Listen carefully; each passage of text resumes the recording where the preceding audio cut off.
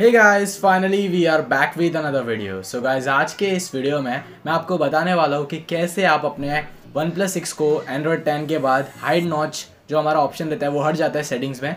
तो आप कैसे कर सकते हो? और साथ ही साथ ये टेक्निक आप अपने नॉर्मल फ़ोन जिसमें नॉच आता है, उसमें भी अप्लाई कर सकते हो। सो गाइस पूरा वीडियो लास्ट तक देखते रहिए। तो सबसे पहले मैं आपको सेटिंग्स में ला के दिखा देता हूँ कि नॉच लिखने पर या फिर हाइड नॉच लिखने पर आपको कोई भी ऐसी सेटिंग्स मिलेगी नहीं जहाँ से आप देख सकते हो कि कर सकते हो, नॉच ऐड कर सकते हो। तो जो नीचे आ रहा है, नॉच करके वो मेरा एक अलग से है। मैंने वो बताऊँगा मैं वीडियो में कैसे आया, वो सेटिंग का दिखा रहे उधर।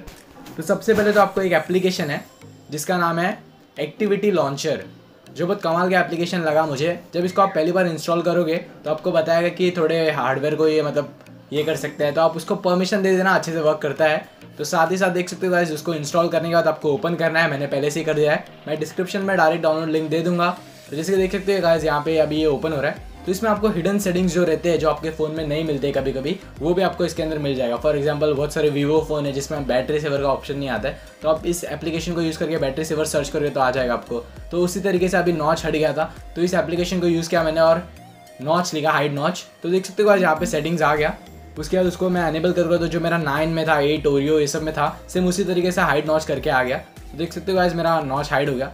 तो इसमें जो नॉच हाइड होता है, जैसे कि पहले से ही ये वन प्लस का तो उसमें कैसे राउंडेड एजेस नहीं आते हैं, एकदम प्लेन नॉच होता है हाइड तो इसके लिए मैंने एक और तरीका ढूंढा, जिसके मैंने आपको स्टार्टिंग में बताया, मैं आपको दो तरीके बताऊँगा, जिसका यूज़ करके आप नॉच को हाइड कर सकते हो। तो पहला तरीका तो गाइज़ ये था एक्टिविटी लॉन्चर को यूज़ करके आपको सर्च करना है, उसमें आपको मिल जाएगा। तो देख सकते हो, मैं जितने भी एप्लीकेशन ओपन किया, सब में नॉच हाइड है। अभी गाइज़ सेकेंड तरीका ये है कि एक नाचो नॉच करके एक एप्लीकेशन है जिसका यूज़ करोगे आप तो वो एप्लीकेशन में क्या है? बेसिकली आप उसको एक टाइल बना सकते हो आपके नोटिफिकेशन पैनल में। फॉर एग्ज़ाम्पल जैसे हमारा बैटरी या फिर जो ब्लूटूथ वाईफाई जैसा वैसा टाइल्स होता है, उसी तरीके से आप उसको ऐड कर सकते हो।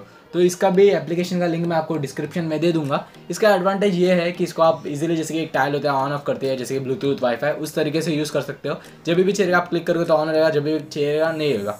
तो उस तरीके से आप इसको यूज़ कर सकते हो और इसमें आपको राउंडेड एडजस्ट करने का भी मौका मिलता है। तो ये भी एप्लीकेशन बहुत कम एम का और बहुत अच्छा लगा मुझे। तो मैं दोनों तरीके यूज़ करता हूँ। फ़िलहाल मेरे को राउंडेड एडजस्ट चाहिए रहता है, इसके लिए मैं ये तरीका ज़्यादा प्रीफर करता हूँ।